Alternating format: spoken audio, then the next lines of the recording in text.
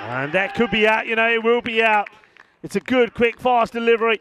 Big swing from the batter, and Matty Hone will go for one. Gets a little snick on this, I think. I certainly heard it through my microphone. Let's watch this. This, yeah, just catches bit of the ball on the bat, and he knows it as well. Has a look up at the umpire, and the umpire says, You gotta go, you gotta go. Second wicket goes down. And what a start for Tomal Aminul.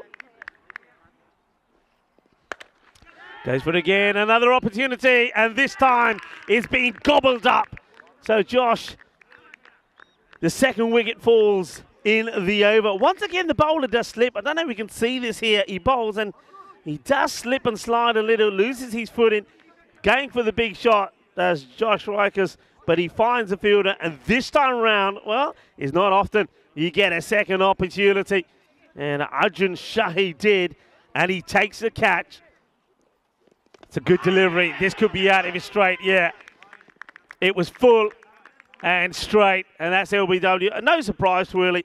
I mean, Tomal Aminul took 12 wickets last year. He was uh, one of the leading wicket takers. He was the leading wicket taker for the Tigers, but that one was just perfect. Beautifully bowled